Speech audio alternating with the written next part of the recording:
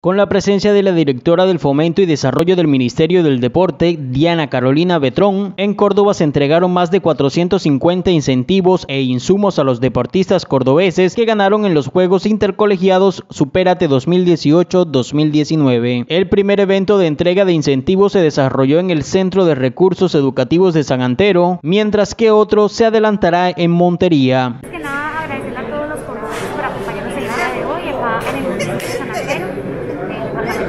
Estamos entregando más de 455 incentivos en temporales, reconocimientos académicos en créditos personales para los entrenadores y los deportistas, en eventos tecnológicos.